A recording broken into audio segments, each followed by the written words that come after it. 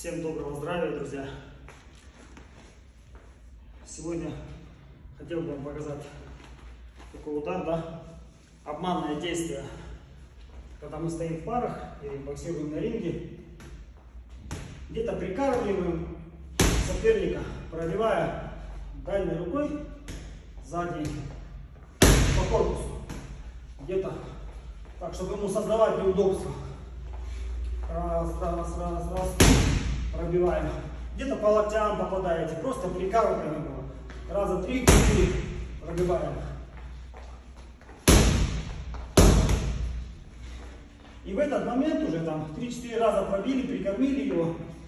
Нужно сделать просто ложное движение, как будто мы пробиваем по корпусу, а сами резко пробиваем левой сбоку. Отсюда работаем, работаем. На ножках всегда.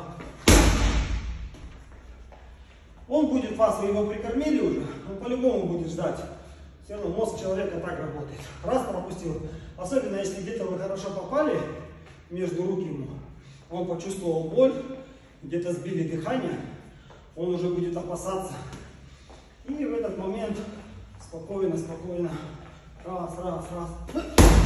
Делаем это ложное движение, как будто пробиваете по корпусу. А сами резко выпрыгивая, пробиваете левой сбоку. Спасибо.